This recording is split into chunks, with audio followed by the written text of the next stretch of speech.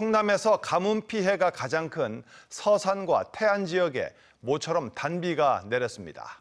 하지만 너무 늦게 온 데다 곧바로 태풍이 올라오고 있어 농민들이 태풍 피해에 대한 걱정에 휩싸였습니다. 조상환 기자입니다. 농로를 따라 쉴 새 없이 물이 흘러듭니다. 하루 전에도 물이 부족해 쩍쩍 갈라졌던 논바닥에 물이 차올랐습니다. 태안과 서산, 홍성 등 충남에서도 가뭄 피해가 가장 심한 곳에 50일 만에 단비가 내렸습니다. 잎이 누렇게 말라가던 고구마 밭에도 모처럼 생기가 돌았습니다. 떡잎이 다 마를 정도였는데 비가 와서 아마 2, 3일 있으면은 고구마 잎이 생생해질 것 같습니다. 했던 단비 내려서 좋습니다.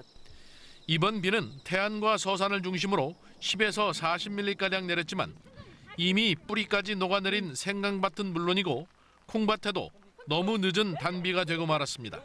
비가 와서 좋기는데 한 달 전에 왔어야 하는데 너무 늦게 와서 콩꼬투리가 하나도 없어요.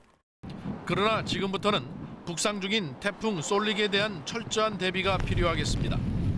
대전 기상청은 이번 태풍이 지난 2010년 충남에 큰 피해를 주었던 곤파스의 진로를 따라올 가능성이 높을 것으로 보고 있습니다.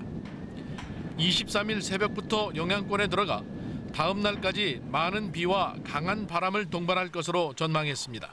예상 강수량은 50에서 100mm이나 많은 곳은 150mm 이상 오는 곳도 있겠습니다.